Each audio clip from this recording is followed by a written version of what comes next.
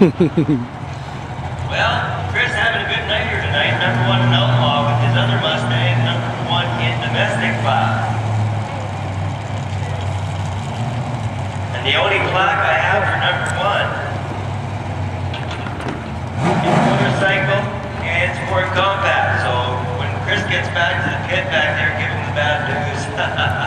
we'll put him down on the list for next week, though. I don't think it bothers him at all. He doesn't race for plaques, he races for fun.